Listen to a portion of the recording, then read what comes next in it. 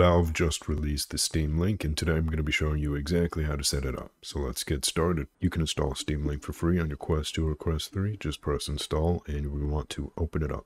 Once it's there, just make sure you're on the same Wi-Fi in both your headset and your computer.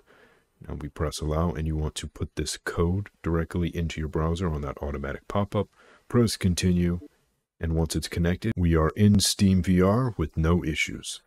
I did also play with some of the settings and just showing you guys we can easily switch between tabs right here and we can also scale it up and down although it's not very fluid.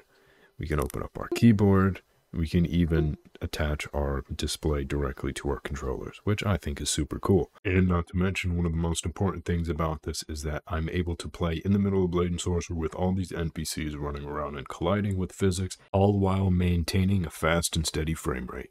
And lastly, there's this display mode, which actually lets us see our screen while we're in the middle of whatever game or app we're in, which I think is actually pretty cool. But that is it. So if you guys like this video, please leave a like, comment, and subscribe. It helps out the channel a ton. Thanks for watching.